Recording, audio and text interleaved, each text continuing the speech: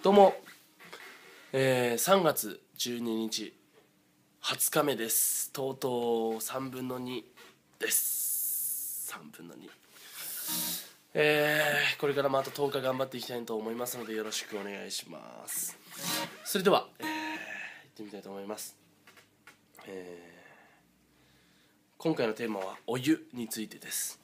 タイトルは「You は You」聞いてください。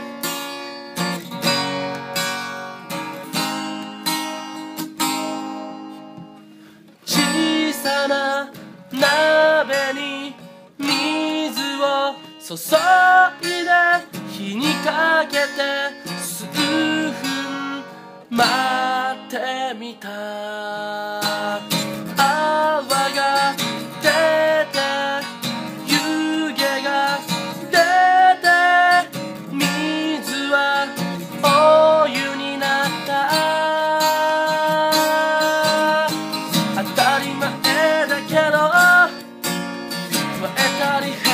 したり変化させれば変化を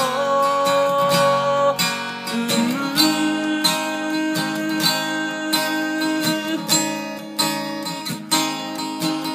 お湯は湯の道を行け Never give up お湯は湯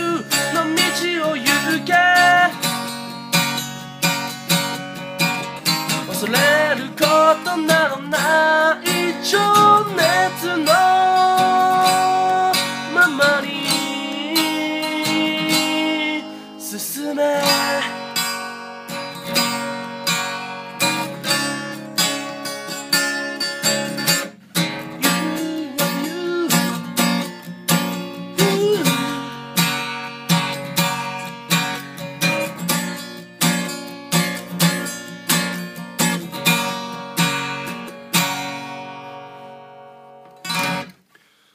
でした。ありがとうございます。お湯難しいね。